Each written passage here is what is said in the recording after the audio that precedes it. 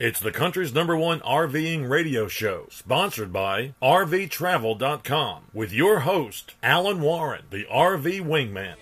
And we are rolling along, folks, with our After the Show show, where we are not uh, restrained, as they say, by network commercial breaks. We get a chance to really dig into some topics with some really smart guests, guests that will help level the playing field between the RV industry and the consumer. That's you and me. I am Alan Warren, the RV Wingman. invite you to join us every single week for topics that you will most likely, well, you won't hear anybody else talking about. Make sure you like our Facebook page, subscribe to our YouTube channel, and turn your notifications on. So, whenever the uh, subject of lemon RVs comes up, many in the RV industry, they're like, uh, you know, even some RVers, they go, give it up, Wingman, give it up. Enough already. Well, here's the deal. While the majority of RVs out there may not be lemons, if you have one, you are in a living hell, an expensive, not just financially expensive, but emotionally costly nightmare. A nightmare that could quite literally bankrupt you. It could. So, if you don't want to hear what's going on in the real world in terms of what to do if you have a lemon RV, now's a pretty good time to maybe hit that stop button. But if you want to know if you want to be armed with the knowledge of what to do if you have bought a lemon RV, you have come to the right place. And the RV Show USA guest line is a friend of the show who we always learn so much from, our famous RV lemon lawyer, Howdy Ron Burdge. Yeah, good evening. How you doing, Alan? Doing great. You know, we we got a, a short bullet list of things to talk about today in the next half hour or so. I want to get right into it. So, for those two or three people out there listening who may not know who Ron Burdge is, and what your firm does. What's your 60 second story, Ron? I've been doing this for 40 years. I'm not that old, though. And essentially, I help people get rid of bad RVs by making the manufacturer pay money or buy them back. All right. So, so you have been doing this a, an awful long time. When people say that you can't win, you cannot beat the RV manufacturers, uh, that's just not true, is it? No, it isn't true at all. There are some cases where you can't win, but there's a lot of cases where you can. It depends on your particular RV and what they put you through. Well, give me an example, if you would. I, I, I know that you had a recent case involving Winnebago. Yeah, I sure did. It was a case that uh, the people just simply were not going to give up until they got what was fair out of it, and Winnebago just wouldn't do it. Uh, so they dragged it out every way they could. Uh, Winnebago did, and we finally ended up in front of a jury over in Harrisburg, Pennsylvania, last month. And at that point, it took one week to do the trial, and at the end of it, Winnebago learned why you're better off not going in a courtroom on these things. So, what what was the story? I mean, are you able to talk about it or no? Oh no, I can talk about it. In fact, it's it's it was a wonderful couple. They were not all that old, really. They they were sort of middle aged, I guess you'd say. But he had a debilitating disease that was not going to get be getting better, and so he had to medically retire. And she decided that this was the time that they had been planning for for almost a decade, and they would just instead of waiting until they retired at a later age, they decided they would both just retire, sell their home, buy an RV, and spend a year being together and traveling across the country while he was still able to do that. And instead of traveling across the country, seeing all the sights and enjoying the life they expected to have with their brand new RV, they basically went from one dealer to another getting things fixed. They had chances to see things, but the problem was what they saw an awful lot of was a lot of dealerships and a lot of service managers that they got to know and never wanted to meet. What what kinds of things were wrong? Was it a brand new RV? It was a brand new RV, cost them one hundred and thirty thousand dollars, and the RV started off with problems they didn't even know existed before they bought it that the dealer worked on. And then there were problems when they, literally within days of when they picked it up, it started being worked on. And then they kept getting promises that things would be taken care of and things would be fixed. And by the time they got to the last stop, it was a situation where new problems came up, old problems returned, and things just never got totally fixed. And it was one thing after another after another. But probably the biggest problem was this is a three slide out RV, and one big long slide on one side just decided to stop working. and it was a known problem that the manufacturer was aware of. How long from the time they bought it? I mean, how long ago did they buy it? I guess I'm wondering how long did they have to do, go through this fight, this living hell, if you will, of uh, fighting to get justice on on a lemon RV? From the day they bought it to the day they ended up in a courtroom and a jury took care of the case was just about three years. Oh, and when the jury took care of the case, they made that three-year travel through the court system well worthwhile for them, and hopefully a lesson Winnebago and others will learn of. Three years. I can, I can only.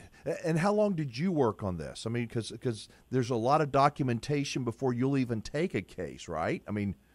Yeah, but I I worked on the case probably two years, just about two years, because they came to see me just before their warranty ran out, trying trying to give up on uh, kind of giving up on the factory and the dealers ever getting everything right when the slide out uh, totally failed.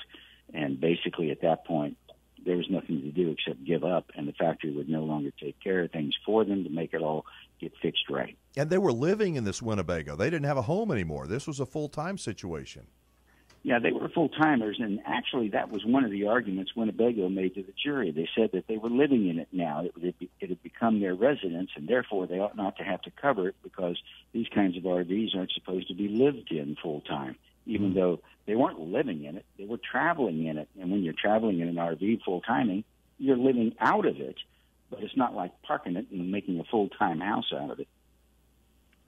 Okay, was the dealer a part of the lawsuit or just Winnebago?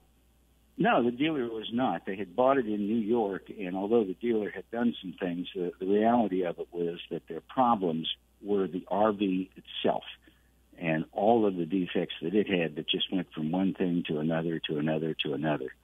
But at the end of that last day of the trial, the jury came back with a unanimous verdict in two hours.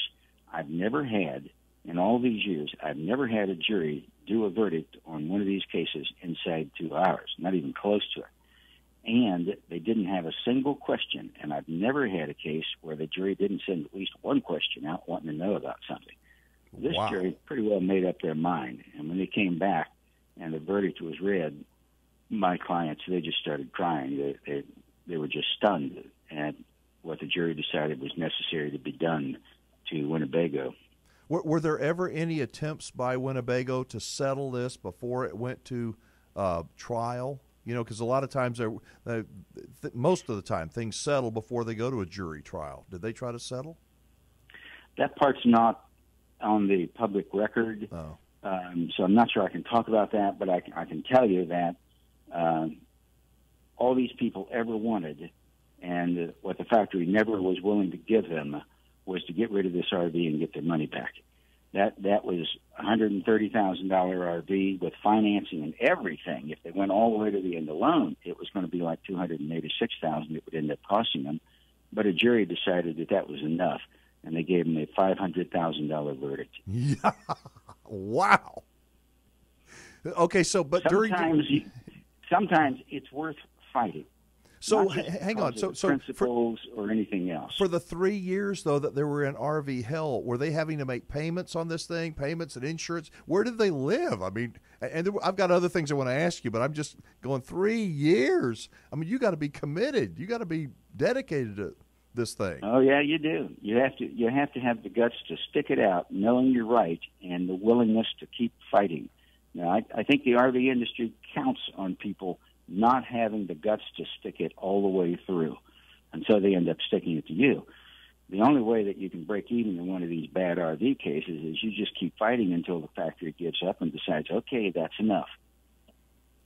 Wow. Okay. So, so uh, I, I do have a question. Uh, you said that they, they purchased the RV in New York State. They live in Pennsylvania. When you sue somebody, uh, a, a, manufacturer, in this case, uh, if you if you they had to sue the dealer, would they have to sue them where the dealer sold it to them, or in the state where they reside?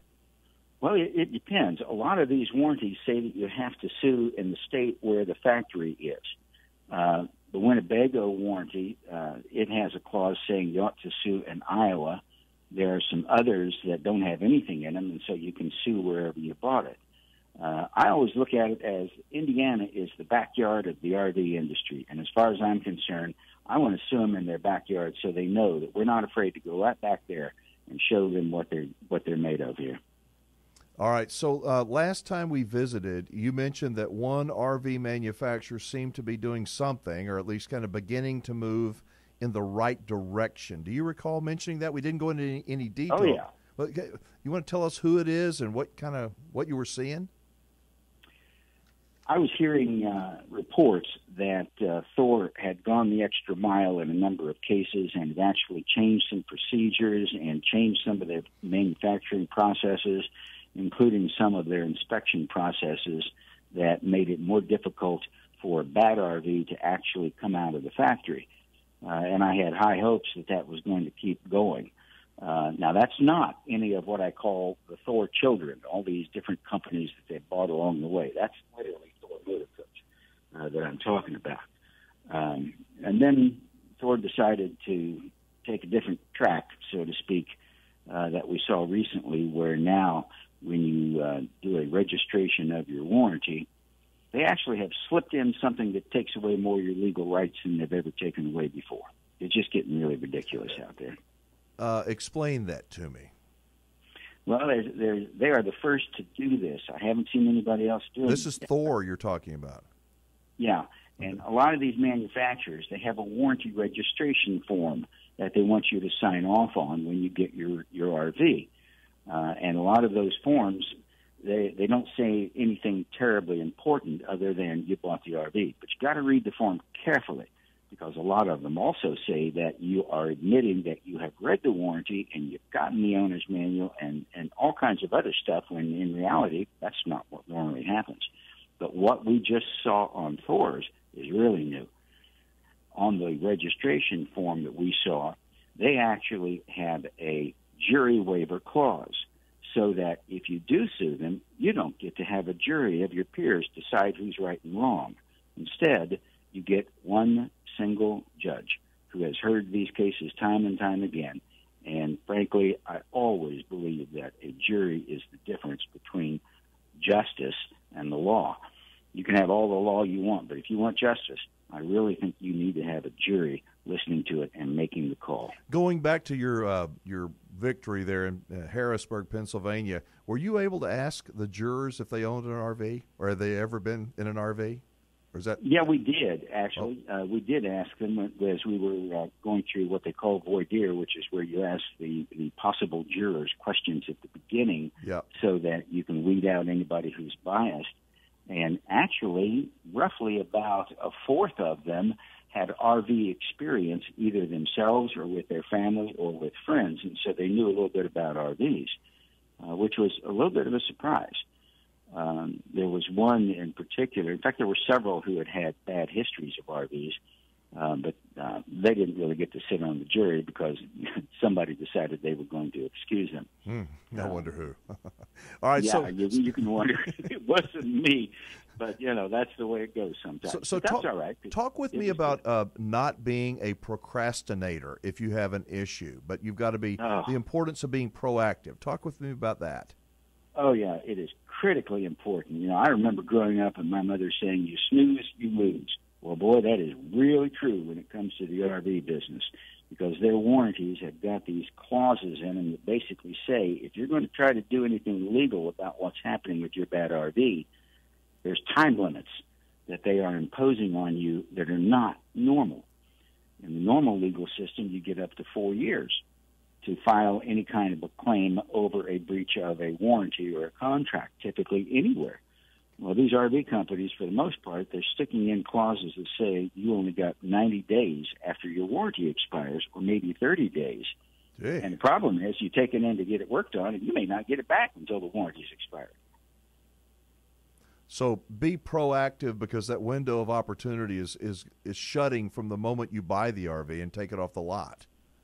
Yeah, it is. You really have to be careful about that, and you cannot wait until your warranty runs out to try to decide whether or not you need to do something. Because if you wait too long, they can just literally thumb their nose at you, and you're stuck with a bad RV. Uh, there's no way of knowing this, but I wonder how many RVers that buy a new RV actually read their warranty before they buy it. I'll bet you it's a very small percentage. I'm quite certain it is. In fact, uh, one of the things I always ask every client is, "Did you read the sales contract?" And a lot of times they'll say yes, and then I say, "Now wait a minute. Did you really read it, the whole thing? Did you read your warranty, the whole thing, before you bought it or when you bought it?" People don't like to admit that they trust and don't bother reading, but that's the reality of most people. Out of all these years, only once did I ever have anybody insist that they really did read it before they signed to buy it. Wow. What about? Uh, I, have heard a trick that, that people have been had pulled on them, where uh, the dealer says, "Go ahead. I know we, we're going to order your parts, but you can take your your RV and go ahead and use it and bring it back, and then we'll fix it. Um, you know, take it back to the repair shop. Good idea or bad idea? Bad idea if you do it. Bad idea. And the reason is because one of the things that matters is the number of days that your RV is out of service.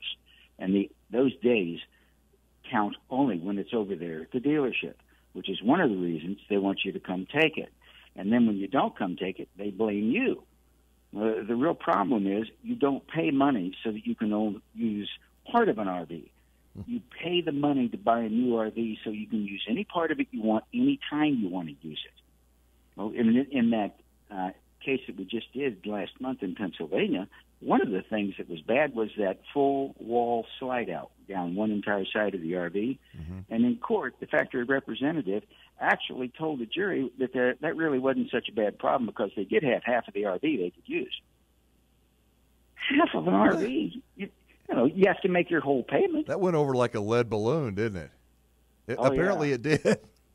Oh yeah, it went over like a real leaded balloon. Yeah, yeah. You know what? I, I hate to bring this up, uh, even this scenario, but just if, if for example, we were looking at a major downturn in the RV sector in the RV industry, something similar. You know, I don't want this to happen, but what happened in 2008 or 2009? and someone had an RV that was made by a company that was going to file bankruptcy or did uh, go bankrupt or be sold, what happens to me, the RVer, with my with my situation? If I've got a warranty on a on a travel trailer or whatever it happens to be, and the company goes bankrupt, your warranty goes bankrupt with it. You had no real meaningful legal rights at that point against the manufacturer which is why it's so very, very important to take a real hard look at making sure the sale happens in a way that gives you the most legal rights you can get. I've heard people buying, a, you know, getting a good uh, RV, getting a good buy on one from a dealer, and then the dealer literally going out of business six months later, and they have a claim they can't go after anybody. It's like going after a ghost, something that doesn't exist. Sometimes that's true, but that's one of the few examples of why sometimes you are better off letting the dealer set up the financing for you. Because when the dealer sets up the loan for you, even if it's with your own bank, it doesn't matter. If they set up the financing on that RV for you and you sign it at the dealership, federal law requires that finance contract to have a little clause in it that says that the bank is going to stand liable for whatever the dealer has done wrong and that can save your save your bacon. You know, uh, uh, I own a campground. My wife and I own a campground in, in uh, Central Texas, and I mm-hmm. have, have some guests that people that stay with us. They had a brand new uh, a Jayco Pinnacle fifth wheel, beautiful, beautiful unit, very happy. Mm-hmm. But they told me they said we almost didn't buy an RV because of you, and I said, I, I'm sorry to hear that. And then she said, No, no, no, that's not true. We're glad because of you because we took our time.